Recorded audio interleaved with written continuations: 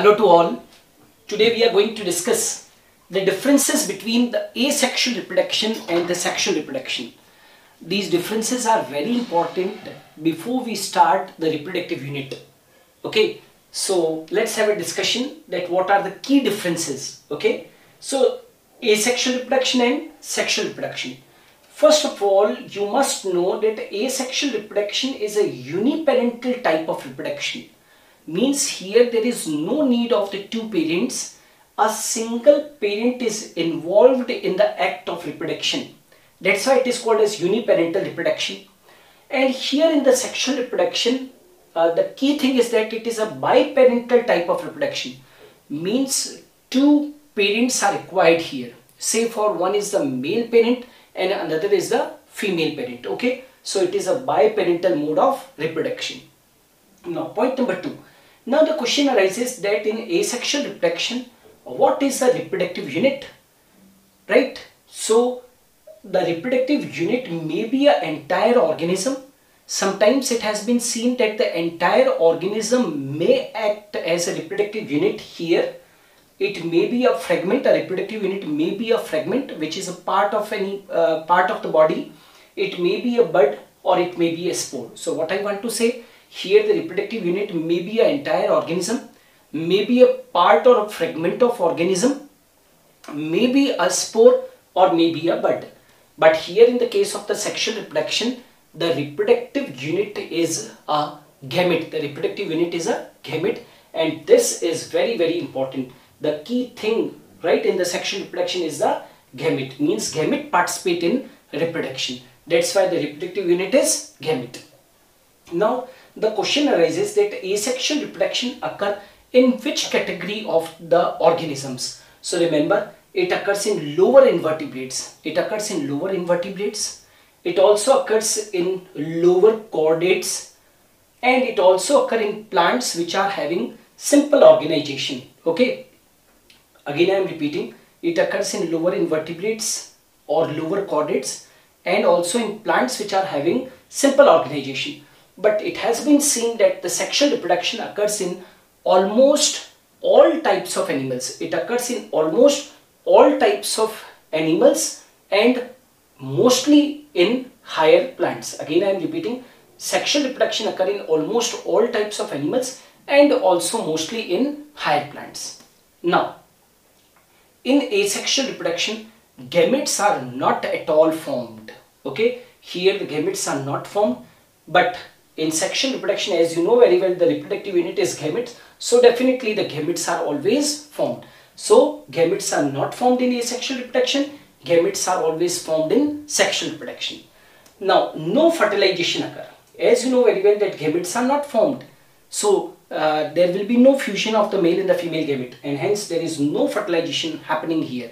No fertilization or I can say no syngamy occur. But here fertilization that is the fusion of the gametes or the syngamy occur. So here gametes are formed and the male gamete and the female gamete will fuse together and that's why I can say fertilization or syngamy occur. Here no fertilization occur. Next, in the asexual reproduction only mitosis is involved in asexual reproduction only mitosis type of division is involved and remember this thing that mitosis is a type of division in which the the organisms the daughter organisms which are produced are qualitatively as well as quantitatively similar to the parents okay so it involves only the mitosis while it involves both mitosis and meiosis we know very well that we have seen that in sexual reproduction mitosis as well as meiosis occur. Now the thing to be concentrated here is that that the meiosis is a division which is used at the time of the gamete formation because we must know that gametes are haploid cells and these gametes which are haploid are formed because of the meiosis okay? Otherwise mitosis also occur. But at the time of the gamete formation meiosis occur okay? Now as you know very well that mitosis occurs here, so therefore the daughter organisms produced here are genetically identical to the parent. Again I am repeating, the daughter organisms which are produced in asexual reproduction are genetically identical to the parent means they are the clones of the parents you have heard the word clone here the daughter organisms are clones of the parents because they are genetically identical.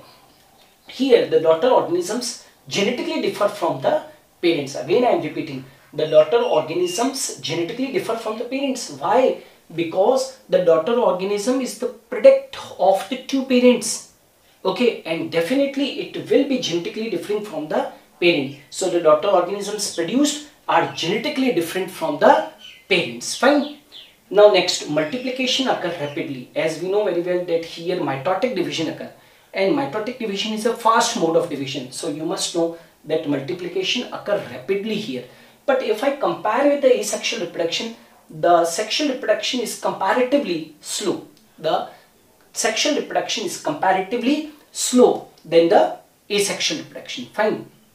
Now, the very important thing is that since there are no variations produced, as we know very well that the offsprings produced are genetically identical to the parent, so no variations are produced and therefore it does not contribute to the evolution of new species. Okay, it is not uh, contributing in the evolution. While here we know that there are variations produced, there are variations produced and therefore it contributes to the evolution of species because we already know that variations play a key role in evolution because in sexual reproduction variations occur and therefore because of the variation this type of the reproduction contribute in the act of evolution of the new species. So these were the nine differences between the asexual reproduction and the sexual reproduction which will help you in a better way to study the reproductive unit. In the coming time I will be uploading a lots of video regarding uh, this topic so keep watching. Thanks a lot.